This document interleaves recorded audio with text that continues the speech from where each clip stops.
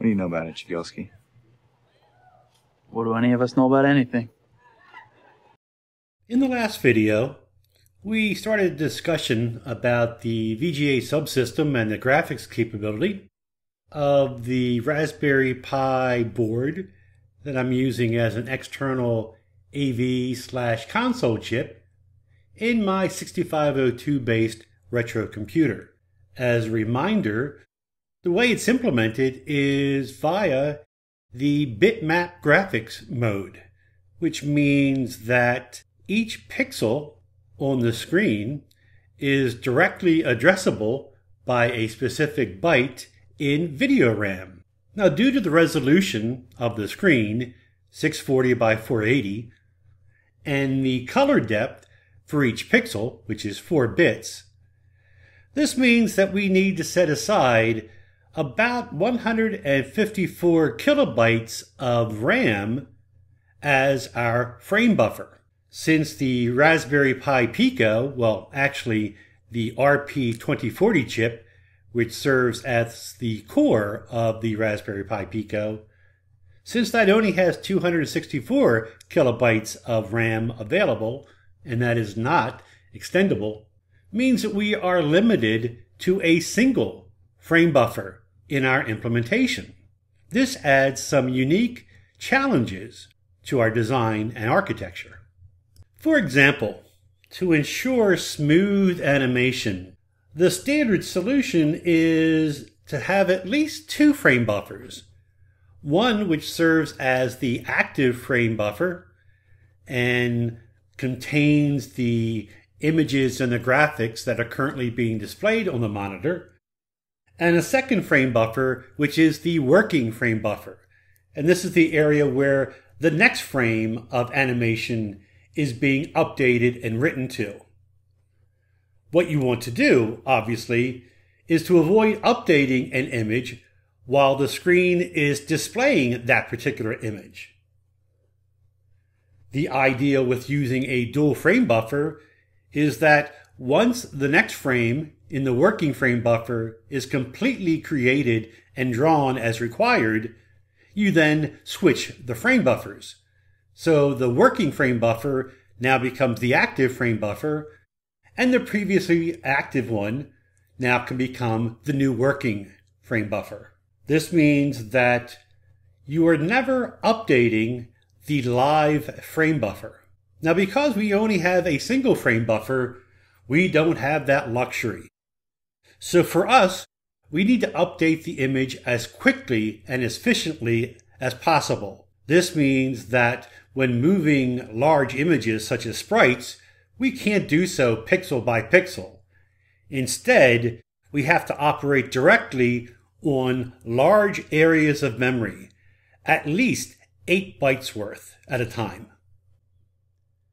So let's look at the actual implementation of a sprite, or a tile for that matter, since fundamentally the two are very similar. The main distinction between a sprite and a tile is that a sprite uh, is expected to move, whereas a tile does not. We support two sizes of sprites, a 16 pixel width as well as a 32 pixel width. The height is user defined and there are really no restrictions on the height of a sprite other than the available memory. The reason why we chose 16 and 32 pixel widths is because, again, remembering that there are two pixels per byte, a 16 pixel width corresponds to an 8 byte word. And these are very easily manipulated inside of the C software development kit. Here is a very simple sprite that's used in the demo program. On the upper left, you'll see the palette that refers to our 16 colors that we support, as well as the color we have chosen to represent the transparency color or the transparency pixel. So, for example, these pixels right here, the darker gray and the lighter gray, actually represent the colors that we want displayed from the pixel. Whereas these pixels back here correspond to transparency, which tells the software that these are not actual colors to be displayed, but instead we want the background to show through this area. In essence, when you create a sprite, you're doing two things. You're actually describing the characteristics of the sprite itself, but you are also inferring the bitmap mask associated with the sprite. So how do we go from this little image to data that can be stored and used by the RP2040 graphics subsystem? Well, first let's recall that for each color in this palette, there is a specific RGB value that they correspond to. And these RGB values are in the RGB 332 format. Once we're done, we can then export this image as a BMP file, otherwise called a bitmap file, even though it's not the bitmap version that we will actually be using. So the program I use to actually draw the sprites actually allows us to also export it as a Windows bitmap file format. So by exporting it, we're able to choose the layers and the frames, this is just a single frame in this case, to a specific file. We're exporting it. And then once that's done, we need to operate on that bitmap file and convert that information to actual C byte data. That conversion is actually done by a different program, and I'll provide a pointer to it in the video description. The program, which is written in Node.js, takes the newly created bitmap file as input and then creates a C file that contains the actual information of what that bitmap would look like as a C array. So let's actually take a look at that. Here, you can see, and this is the one that we'll be looking at, we're, we're using the RGB 332 format right here, and that's the, the first one looked at. And you can see that what it's gone ahead and done is that looked at each of the pixels in that image and has assigned it a byte level data. FB corresponds to a transparency value. FF corresponds to a white value and other values correspond to other colors in there as well. Here we can see in the demo program how we've gone ahead and just cut and paste that uh, C array into the demo program right here. We've called it foo2, and foo2 corresponds to that spaceship sprite. And then later on, what we do is we load that array into our sprite table using the load sprite routine. So let's actually take a look and see what load sprite does. This is the load sprite routine. And after some base housekeeping uh, information to make sure that things are correct, such as we're not using more sprites than we're allowed, or we're not replacing an existing sprite, we need to figure out whether the data that we're reading it in is one which already exists, or whether we're going to be reading it in via the VGA system itself if it's not already created data and we're actually going to be reading it in, then we need to set aside that memory and then read it in byte by byte to create this larger array. Now that we actually have the array data that corresponds to the description of the sprite, we can now create the actual bitmap version that we want to store, as well as auto create the mask associated with it. Again, the mask simply determines which pixels should be transparent and which ones should be opaque.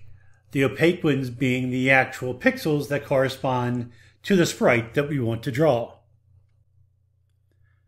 Now, as noted before, the data that we're reading in is actually in RGB 332 format. And we actually want to convert that information to our own internal representation of these colors. We take care to check for a transparency level color and mask out the information as required. This way, we're actually creating the bitmap that corresponds to the sprite, as well as the mask that's associated with it as well. Now that we have the sprite stored in our internal sprite array, how do we actually display it on the screen?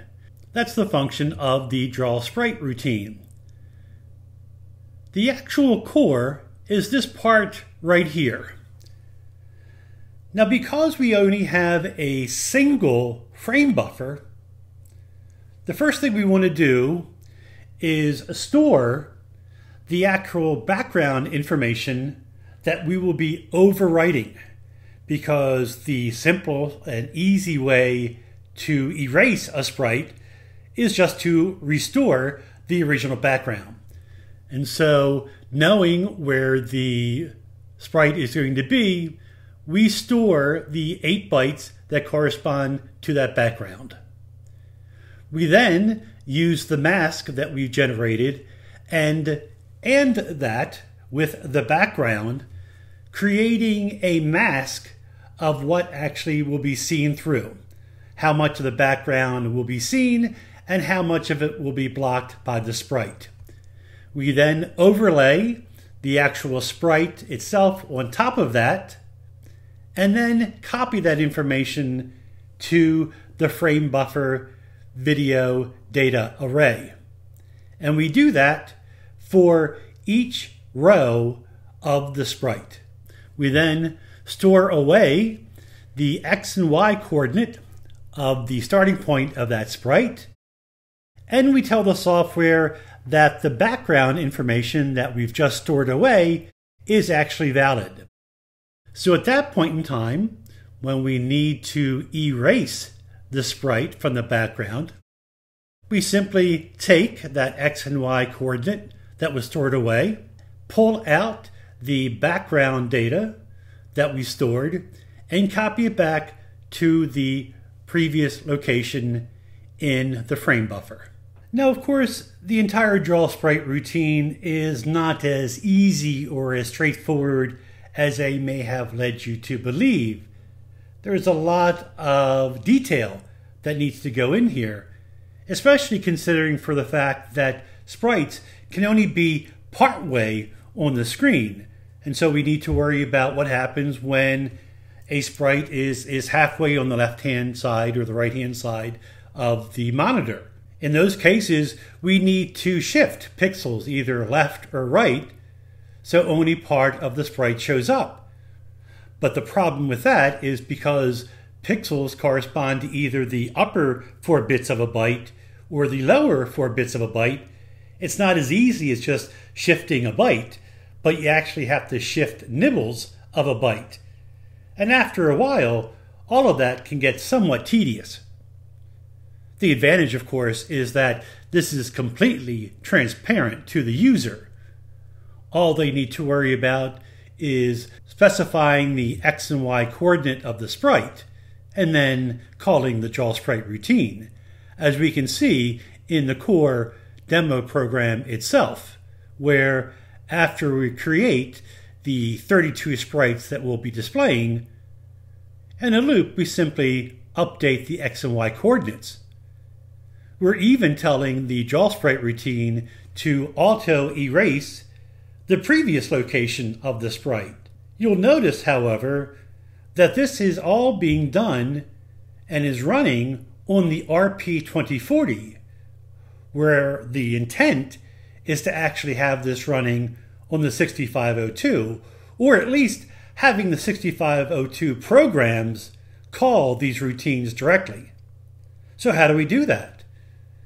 And of course, that's not really just a question for how do you draw sprites, but also how do you draw graphics primitives? How do you draw text? How do you tell the VGA system the X and Y coordinate of a text character you want to write?